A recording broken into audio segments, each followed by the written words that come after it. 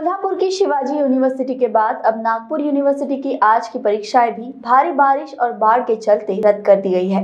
ये निर्णय नागपुर गोंदिया भंडारा और वर्धा के चार जिलों के लिए लागू होगा जो विश्वविद्यालय के अधिकार क्षेत्र में है।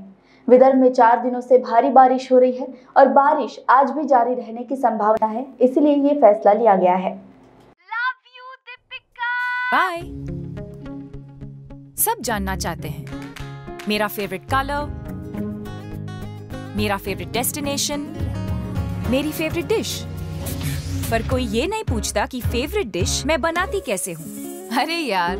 जिसे टेस्टी खाना पसंद है वो अच्छे टेस्ट तक पहुँच ही जाता है। सुरुचि मसाले।